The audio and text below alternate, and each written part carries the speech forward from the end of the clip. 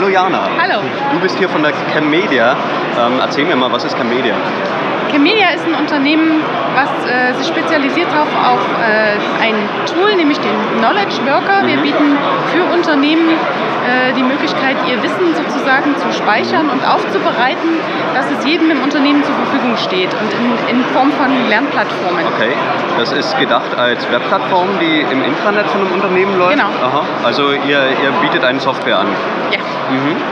Ähm, für, äh, für wen? Für kleine Unternehmen? Für Ja, wir haben Schulen? hauptsächlich sehr große Unternehmen, weltweit betreuen wir und äh, die Software gibt es schon seit circa zehn Jahren. Und heute sind wir hier bei den Linux-Tagen, um unsere offene äh, Version anzubieten. Wir nutzen sehr viel Open Source und wollen der Community auch was zurückgeben und bieten deswegen den Open Knowledge Worker seit circa Mitte letzten Jahres an der den allen die Möglichkeit bietet, dort einen globalen Wissenstransfer einzustellen. Also sozusagen Wissen, was ich habe, äh, pflege ich in die Plattform ein, Okay. in kleinen Bausteinen, so Okay. Mhm. sogenannten Wissensbausteinen, und kann aus diesen Bausteinen einen Kurs generieren. Es geht auch darum, dann Lehrkonzepte daraus zu exportieren aus diesen. Zum Beispiel, Okay. ja. Und ähm, ihr seid Chemnitzer Unternehmen Richtig? und repräsentiert sozusagen die lokale Wirtschaft auf dem, Auf jeden Fall. dem Linux-Tag. Ja, wir sponsern auch die Linux-Tage, weil wir einfach finden, dass das eine gute Plattform ist, um wirklich äh, in Chemnitz was zu bewegen und zu zeigen, was alles existiert. Sehr schön, finde ich toll. Danke. Danke. Wir machen mal so einen Bruch hier. Äh, Das ist ja GNU Funds und ähm, auf den Linux-Tagen gibt es auch Stände, die sind weder GNU noch Linux. Erzähl Ja. mal, wie, wie kommt es, dass ihr hier seid? Ähm,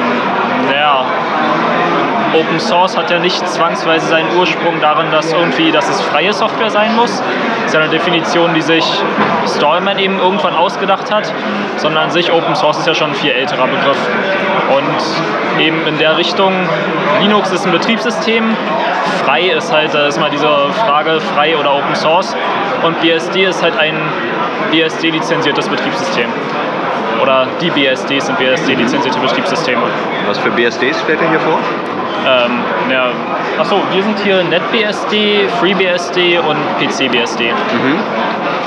Ich sehe, ihr habt interessante Hardware, ihr habt eine Backstation, da läuft auch gerade BSD drauf, ja, okay. Ja. Und eine ASCII Neon Cat. Ähm, hübsch. Ähm, Das ist ein sehr aktuelles. Das ist mit Okay. 6.1 Release Candidate 1. Also es ist wirklich gerade, ich glaube vor zwei, drei Wochen ist der rausgekommen oder so. Der, ja, und der Rechner ist von wann? was 93 und was in dem Dreh, ne? Okay. Das läuft flotter als Linux auf dem Gerät?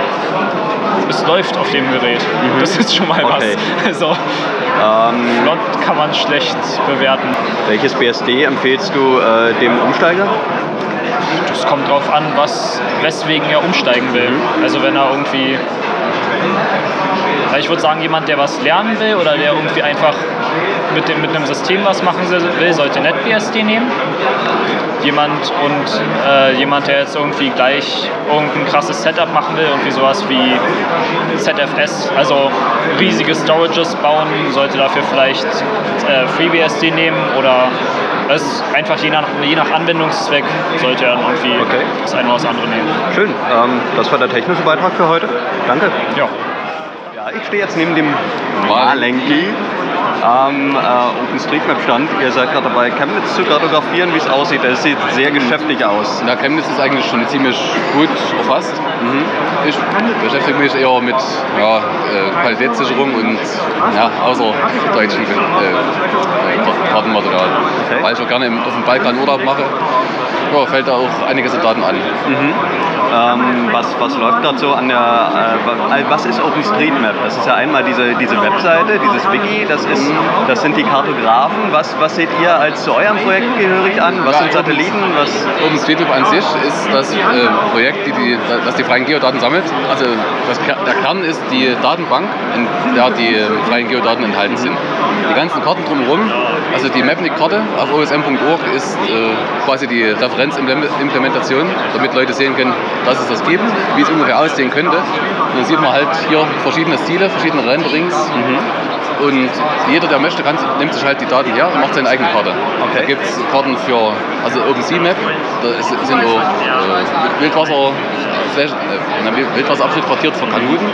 Dann gibt es äh, Fahrradkarten, Fahrradrouting, Wanderkarten, äh, Routing für Wanderer.